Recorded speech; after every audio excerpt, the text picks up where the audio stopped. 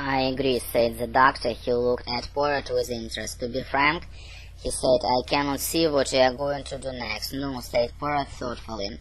He took out cigarette case and lit one of uh, tiny cigarettes. His eyes were dreamy. That to me is the interest of the case, he said. We were cut off from all normal routes of procedure.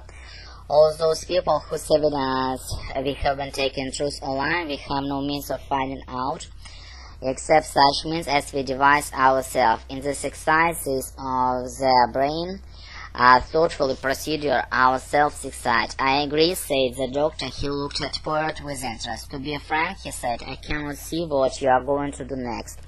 Uh, no, Poirot said thoughtfully. He took out his cigarette case and lit one of his tiny cigarettes. His eyes were dreamy. Uh, that to me is the interest of the case, he said. We are cut off from all normal routes of procedure, and these people whose evidence we have taken speaking the truth or lying. We have no means of finding out except such means as we can devise ourselves.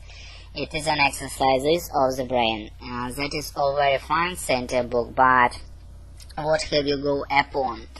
I told you just now we have the evidence of the passengers, the evidence of my own eyes, uh, pretty evidence, uh, that of the passengers.